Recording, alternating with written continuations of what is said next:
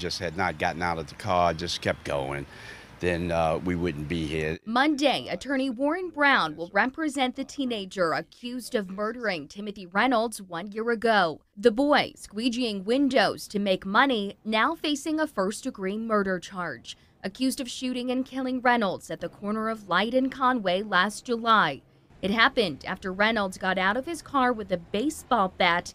The suspect was 14 at the time. That really put into motion uh, the the mayor's efforts to to rid the corners of the squeegee kids. And if you travel through Baltimore now, those corners that used to be inhabited by squeegee kids are vacant. The family of Reynolds has been outspoken since his death, speaking out multiple times, including back in November when a judge ruled the case should be tried in adult court. Reynolds' sister saying then that they felt relieved, but that there are no winners in this case and there's still a long road ahead.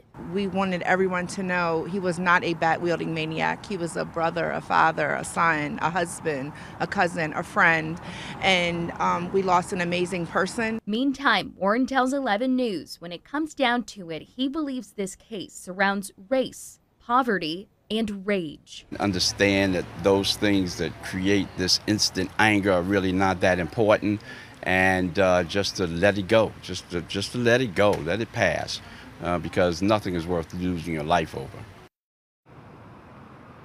The trial is set for 9:30 a.m. tomorrow morning here at the Mitchell Courthouse. We'll be here and let you know what happens. For now, live at the Mitchell Courthouse downtown, I'm Tommy Clark, WBAL TV 11 News.